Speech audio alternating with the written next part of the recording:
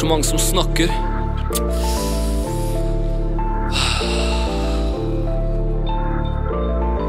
Han der er Bajo, han pleide å være venn, men jeg så han her om dagen. Kjente han ikke igjen, det må være musikken som har gått han til hodet, bror. Jeg kunne ikke tro det, han må ha glemt vår historie. Ah, han har glemt hvor han kommer ifra. Har ikke sett han på dager, har ikke hørt noe fra han. Vent, snakk om sola. Telefonen ringer, det er Baj. La oss høre hva han tynne karen sier. Ah. Jeg vil alltid være den samme. Selv når det er spenning, vil det bli jeg ikke godt lei. For jeg, jeg kan ikke forandres.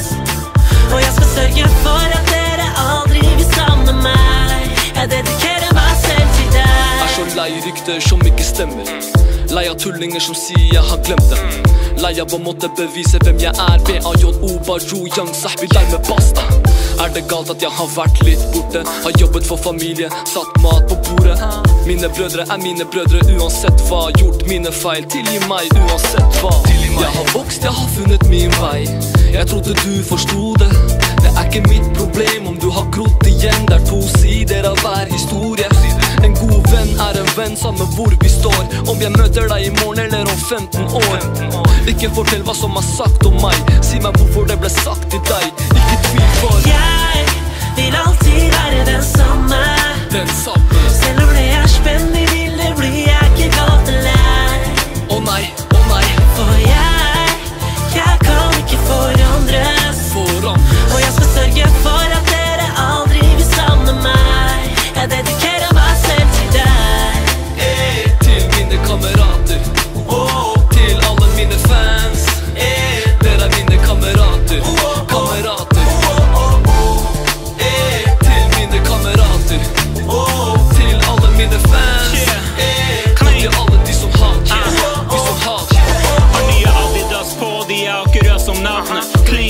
Clean, det er han som spiller Sabnes.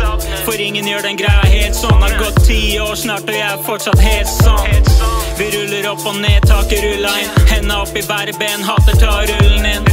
Og etter alle årene jeg putta inn OG, men ser som en kid, det er gutten sin. Shit, det er samme gamle gutten sin. Fortsatt om meg bia og vet å hente kutten min. Og de kan si hva de vil. Jeg gambler på en drøm som mitt liv var et spill.